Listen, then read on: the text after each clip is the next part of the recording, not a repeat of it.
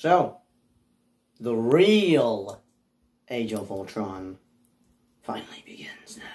Well, begins tomorrow, but you get what I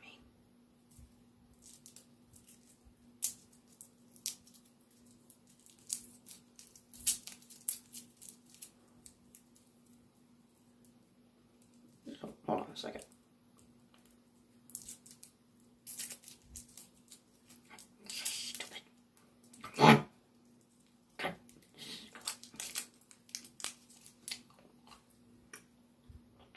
Oh, don't worry, I'll, I'll throw that away. No, I just got out. God. Oh! Oh, it's all over the ground. Oh, no. Clean that up. Anyways, back to business. So, yeah. I don't even know what episodes we're getting at this point. Was like, and by that, let me explain. So, we all thought Party Thor was going to be episode 5. Well, hell no. We got that Zombies episode for episode 5. And then, uh, and then the Killmonger episode we all thought would be episode 6, which was true. But episode 7, yeah, I pretty much had realized, ah, so basically, two episodes switch places. Okay, okay, okay. I guess that's solid. But, like, this is supposed to be episode 9. Well, what, whatever happened to the Gamora episode? Are we still even getting that? I, okay. Alright, I, I don't even, I don't even know what to think at this point. I don't even know what to think at this point, but, like, was the Iron Man Ragnarok? Where Iron Man makes a Hulkbuster in that planet where where Valkyrie captured Thor and Thor Ragnarok was was that was that episode delayed to season two because it's been confirmed that the second ep- that the tenth episode had been pushed to season two. So technically, the tenth episode we were supposed to get for season one, we'll get to see that in season two. Now, this season two is gonna have eleven episodes with episode ten added to season two, or it's gonna have nine, and each season is gonna have nine episodes. Which, all right, I'll be fine with that because they probably haven't had a ninth episode yet for season two, and they're like, "Hey guys, we're gonna delay this episode to season two. And uh, how many episodes have you already made for season two? Only eight. That is actually very good. Oh, thank you, thank you, Kevin Feige. We'll take we'll take episode, uh, episode ten of season one as episode, uh, something something for season two. Oh, no problem. That's I think that that's what probably happened. But anyway, so yeah, hello, welcome back to another video. This is my final thoughts before episode eight tomorrow of What If, and it is titled What If. Ultron 1, which I'm actually looking forward to check this out, guys. this is taking inspiration for Avengers Age of Ultron. And I told, and here's something I found out from my dad, and I'm actually pissed at him for this. I think that, I, I don't know if he's gonna see this, but there's one thing, he sucks at parenting, at doing something for his kid. And that is let his son watch the whole freaking MCU. It's, I mean, he's technically have seen a few, only, um, Infinity War. Um, I don't know about Endgame. Actually, he's never seen Endgame, but he has seen the first two Spider-Man movies and a couple of few MCU movies. I think. I think those are the only two. I don't know. I have to double check. But basically, Ryan has not seen all. Well, he has seen Black Widow and Shang-Chi. He was with us when we went to see those in theaters. But for all 23 MCUs, minus the ones he's already seen, which I think are only Spider-Man Homecoming and Far From Home, and probably Infinity War. He definitely, actually, he was technically watching it, but mainly fell asleep. So I guess I'll not count that. But he's basically have not seen, I guess, 21, all 21 MCU movies, and I'm pissed at my dad because, like, first of all, he's never taken Ryan to see Aquaman, and second of all, he's never let, he's never, uh, now, now, and you're probably wondering, maybe because he's not old enough. No, my dad would not be that stupid. He would allow him to watch this type of stuff the main problem about it. He's never had him watch it. Like basically, like son, you could. Here are 21 MCU movies that you can watch. Enjoy watching them, but don't stay up late. But enjoy watching them. Love you. Still, he's never let him like not not that I'm saying he hasn't. He, he isn't like he's not again. He isn't allowing him to not watch it. He just hasn't had him check them out. Like Moran has never even seen all the, all the first two seasons of Mandalorian. And my dad hasn't even watched the last three seasons. No, last three episodes. Uh, uh, let me rephrase that. He hasn't seen the last three episodes of season two of Mandalorian. And I'm hoping, I'm hoping I could get something out of him once he checks out about that finale. So, yeah, uh, guys, if you've seen Mandalorian, which you definitely have, don't spoil what it is, comment down below, because I bet my dad's to be checking the comments. And dad, if you look at the comments, don't you dare look at the comments. I'm already pissed at you that you've never let, never even took Ron to see Aquaman. I saw Aquaman in theaters with my grandparents. And my mom and my brother. God dang it!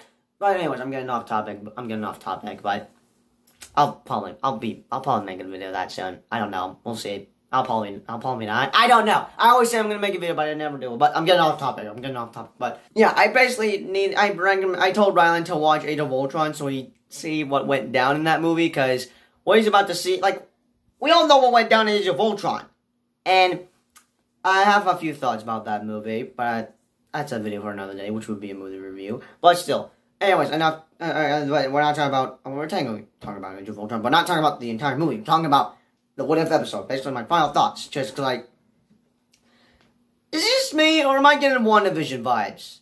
And that would sound weird, I know, but it's mainly for like, because I feel like the Watcher is like Wanda, and the Watcher, like basically, hit Watcher can't interfering.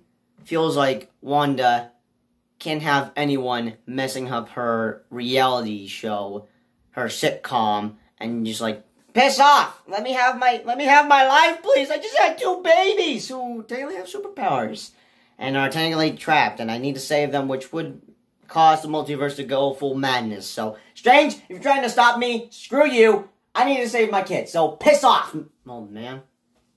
Yeah, what I did there. Okay, that was very weird, but you got the idea. You probably got the idea, but still, it just feels similar like that. Like how Wanda, like you know, like how Jimmy Woo was trying to contact Wanda through the stereo thing. That's basically um uh whatever's whatever's going on. Like basically, basically, for example, uh Jimmy Woo is Infinite Ultron, and he's coming into old uh, Thor's universe, as in Jimmy Woo is like it's just it's hard to explain. It's just but, but I'm just getting One WandaVision vibes from from whatever. It's uh, that's just that. But like this is starting. This is, this is actually getting serious right now because like I'm actually very curious, and I've still been curious about this since I guess day one of what date exactly I don't freaking know, but he for some reason goes after the Infinity Stones. That's interesting. That because he's got a freaking Infinity Stones would be the Mind Stone in his forehead, but still. Well, we'll find out soon, and it shall all make sense, like how it made sense for why Thor likes to have parties. Now, I was confused with the concept of that, but once I saw the episode, I understood that, and I have some thoughts about that yes, it's a dumb, stupid episode. I get it, but it's a dumb, stupid episode I really enjoyed. So I could see how everyone could not be a fan of that or anything, but we all have our own opinions. But still, Infinite Ultron is not just like just. This is crazy. Infinite Ultron is that is that is no one gonna be calling on that? Because like the mar, just just. I'm always looking for a little speechless. Like this is this is this is this is getting serious. This is legit getting serious, because he's based, he's practically won. This episode is literally gonna show us how he won in Age of Ultron, and yeah, I know where this is going. This is we find I like I, I know for a fact something dark is gonna happen, and this is this is only gonna be a dark episode. I'm calling I'm calling it. It's gonna be a dark episode. Like I was I like the dark episodes, but like okay, can we take a break from the dark episodes? I think we've had enough, especially seeing Tony die so many times in the MCU. But yeah, and then we would pause on that. But now, no, unpause.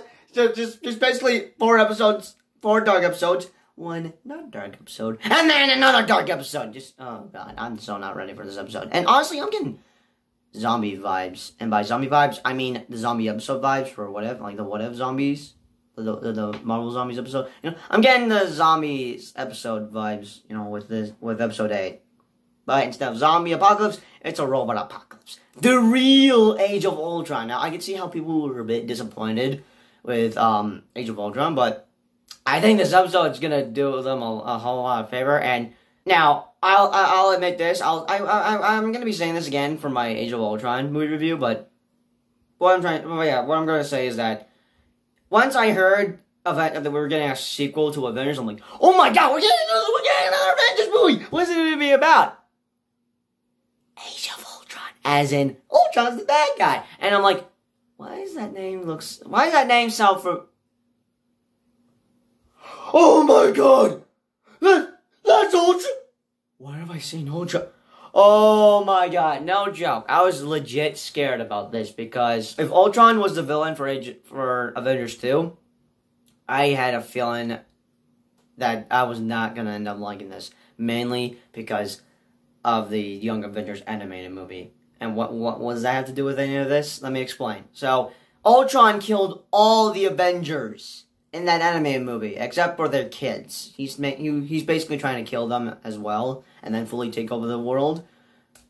Maybe the Age of Ultron had begun years back instead of 2015 or something. I don't know, but he's ba- he basically killed all the Avengers, like the Young Avengers' parents, all Avengers, which came like I thought of that uh, after realizing Ultron was the main villain for Age of Ultron.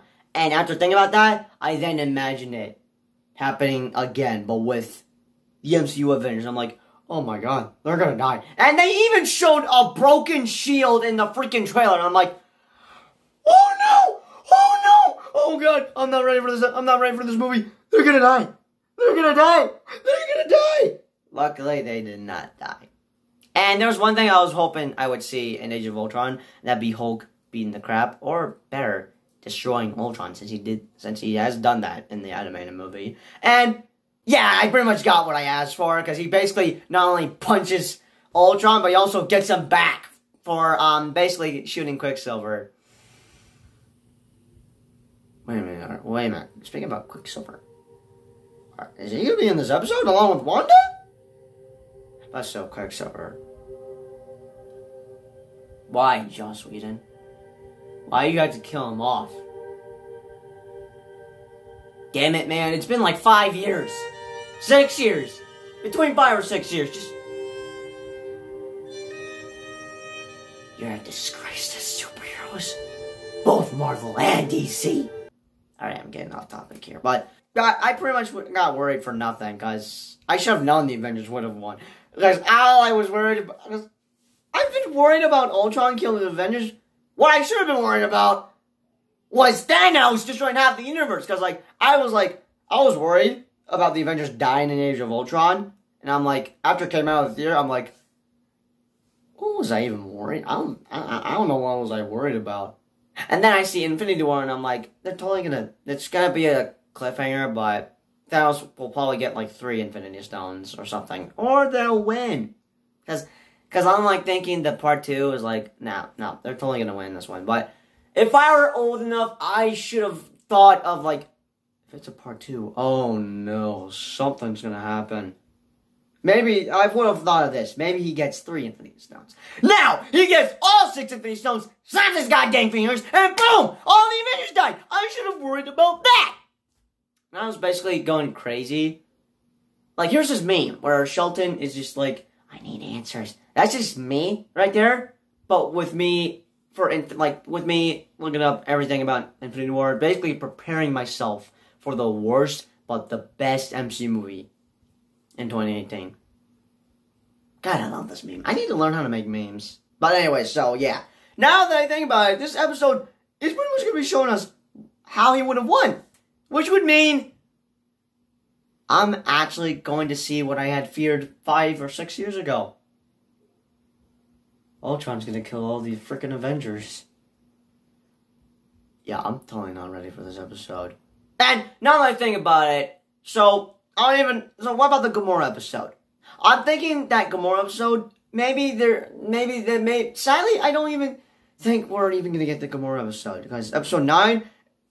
Here's what I think is gonna happen in episode nine. So basically, episode eight is gonna be about how Ultron wins and how he's going to pretty much invade and become a multi a multiversal threat.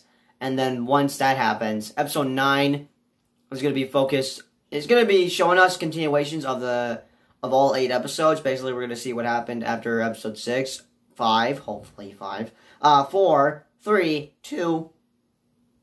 I don't know about one. I don't, uh, probably one. Probably one. But we're going to be seeing continuations for all eight episodes for episode nine. And then once the watcher finally interferes, he's to be interfering. Guys, come on.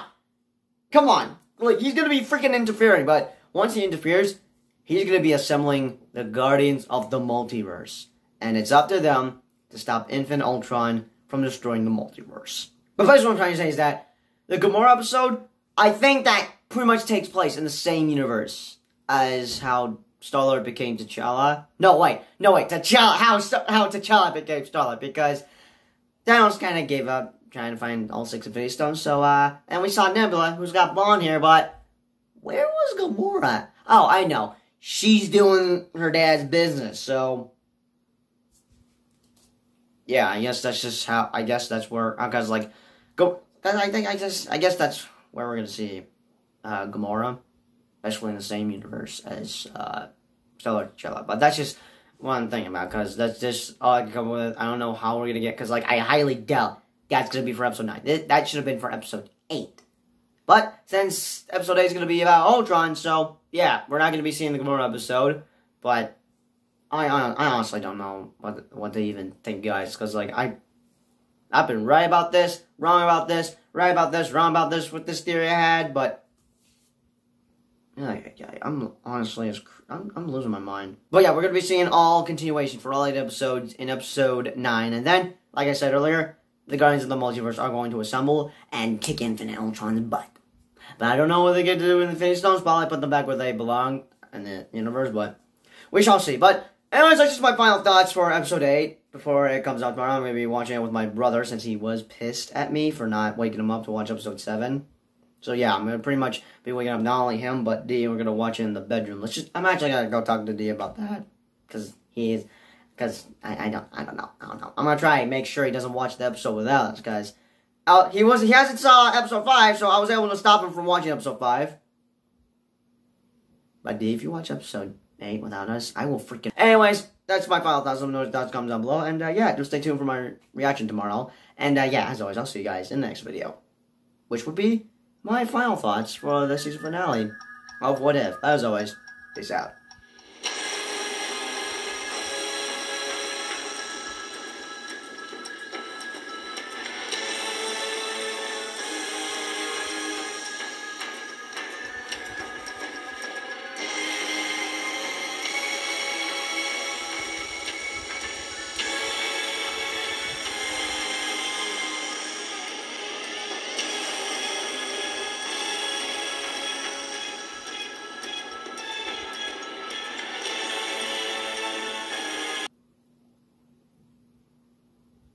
Does Doctor Strange even know what's even happening in the multiverse? Oh no, wait, he's too busy um, casting a spell for for Peter to have the world forget about Spider-Man. Well, we all know what happened.